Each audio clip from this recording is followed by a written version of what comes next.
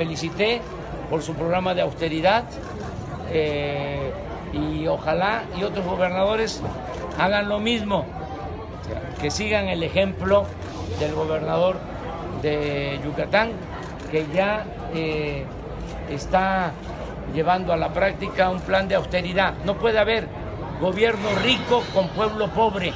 Hay que apretarse el cinturón, el gobierno tiene que apretarse el cinturón para que se liberen fondos y le llegue el presupuesto al pueblo. Por eso eh, subrayo lo que está haciendo el gobernador de Yucatán.